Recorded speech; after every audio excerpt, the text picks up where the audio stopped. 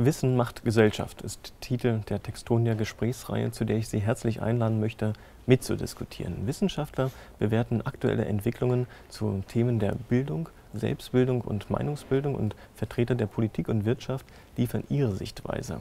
Auf der Facebook-Seite von Textonia können Sie Fragen an unsere Gäste richten, die ich versuchen werde, in die Diskussion mit aufzunehmen. Auf dem Podium diskutieren unter anderem die Rektoren der Otto von Guericke Universität Magdeburg und der Hochschule Magdeburg-Stendal, Jens Strackeljan und Andreas Geiger, Präsident der IHK Magdeburg Klaus Olbricht, die Bildungswissenschaftlerin Renate Girmes, Politologe Wolfgang Rentsch, der Medienwissenschaftler Renatus Schenkel, Bundestagsmitglied Burkhard Lischka, der Landesvorsitzende der Piratenpartei Sachsen-Anhalt Henning Lübbers, MDR-Moderatorin Susanne Brandt, der Redaktionsleiter der Days Konrad Engelhardt und Chefredakteur der Volksstimme Alois Köster.